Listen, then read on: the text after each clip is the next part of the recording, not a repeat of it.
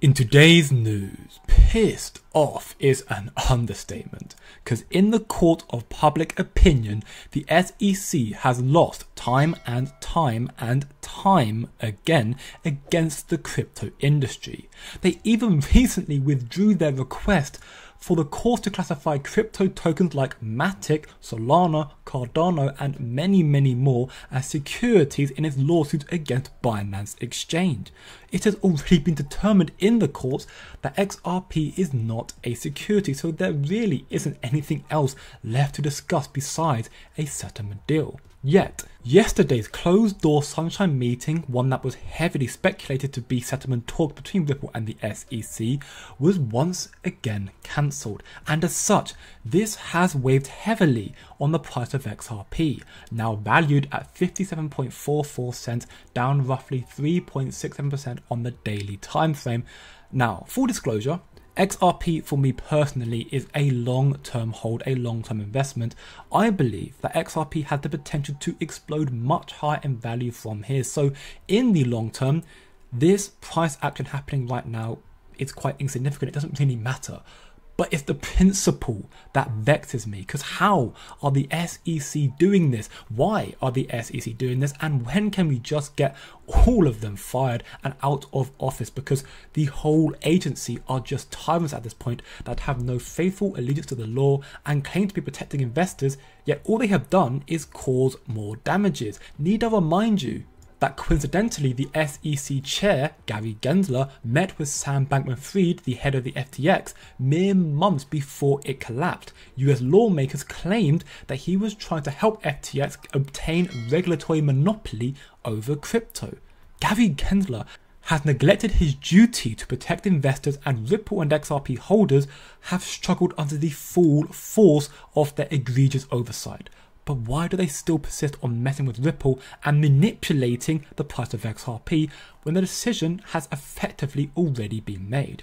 These are the sort of thought provoking questions that allow you to stay ahead of the game and help you piece together potential market patterns and structures, which is crucial as we are now approaching the biggest bull run ever in the history of mankind. And it is for this reason that I have just created a free to join community Discord server, where in this community, together, we are all working to increase our knowledge to find the true money makers, the true crypto gems to be a part of the biggest wealth transfer in history. So by all means, come and be a part of the family. The link to join will be in the description below. Now, as per this article from Coinpedia, the reason why the SEC may be fleeing as such may have something to do with the recent court filings that have favoured crypto, forcing them to reconsider their stance. Combine this with the growing political pressure, especially from the US administration as Trump engages with the crypto community, this could be affecting regulatory strategies and contributing to the delays. I am sure you are aware or remember recently Donald Trump gave a speech at the Bitcoin conference in Nashville stating that on day one of his administration he will fire Gary Gensler. Take a listen. I will fire Gary Gensler.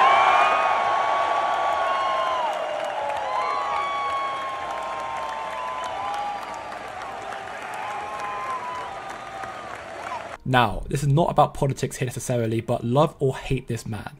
I'm sure everyone can agree that Gary Gensler needs to go, and this growing pressure may have finally become too much for him to handle.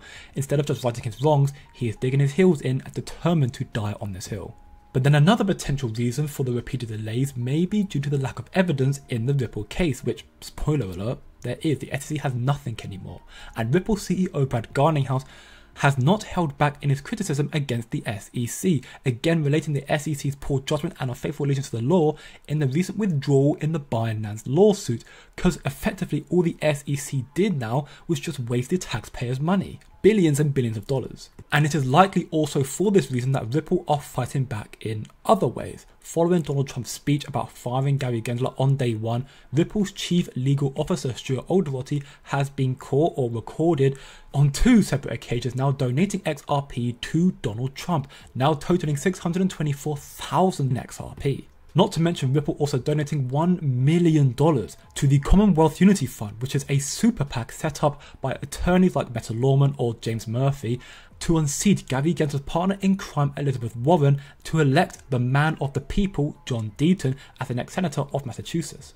So evidently Ripple are doing all they can to remove the anti-crypto members in Congress stifling crypto's innovation, and they are not the only ones. Coinbase as well, as well as Circle, some others as well, but in this instance here, Coinbase are also donating funds and talking to mainstream media platforms to voice how crucial it is for America to wake up and catch up with the rest of the world on crypto innovation. As Coinbase CFO Alesia Haas states here on CNBC, it would unlock massive potential for crypto as well as Coinbase if we could bring clarity to the United States. Listen closely still sort of anticipating that you could see additional regulatory oversight come down the pike for crypto this has been a quarter of momentum. So we had so much movement in the, for our goal of regulatory clarity this quarter. We are very grateful to Senator Stabenow, to Representative McHenry for their efforts to bring forth bipartisan legislation in the House and the Senate. We saw overwhelming support of FIT 21 in the House as it passed with bipartisan support, and we are really optimistic that we might see continued momentum into the fall on the Senate side. So our energy is there. It would unlock massive potential for crypto as well as Coinbase if we could bring clarity to the United States. So, yes, this repeated delay and cancellation of the settlement deal is frustrating beyond all belief. But all in all, the final outcome has already been decided. The SEC can manipulate the price and delay all they want, but as Ripple CEO Brad Garlinghouse states on two separate occasions, one to Bloomberg and the other to CNBC, this lawsuit will likely resolve itself this summer. XRP was not a token in the context of retail use. Um, it was a different story for institutions. Where, where do things stand with that case right now? So right now, what the courts ruled and the judge said very clearly is XRP in and of itself is not a security. That's everything to us. That, that was, you know, these are technologies that should be allowed to kind of breathe and thrive and grow. And to me, it's again the inevitable march of those technologies, the progress. The case between Ripple and the SEC, we feel like is largely resolved. Most of that went Ripple's way. There's one case that the judge decided when an institutional sales and something called an investment contract, because there's a contract around it, the contract could be a security. And it was deemed that those were unregistered security sales. And so we're in the final, like, let's say, half mile of that marathon. I think we'll see resolution hopefully this summer. Uh, you know, the SEC asked for $2 billion in fines you know, my my estimation is that'll be, you know, in certainly in the millions, not the billions. And I think it's again just a misguided to even come out and ask for that when there's no accusation or certainly findings of reckless behavior, fraud, or any of those things. You know, the, the other settlements that they've done have been represented like maybe one or two percent of what's been involved, and so it's just kind of posturing, in my opinion. Ripple will win. United States institutions will be greenlighted by the SEC finally for mass adoption of XRP, and then XRP's price will start to increase and eventually will skyrocket. The final judgment is very, very close, weeks away, and actually, there is another Sunshine closed door meeting next week. So who knows if this doesn't get cancelled, maybe next week is the time we get a settlement deal.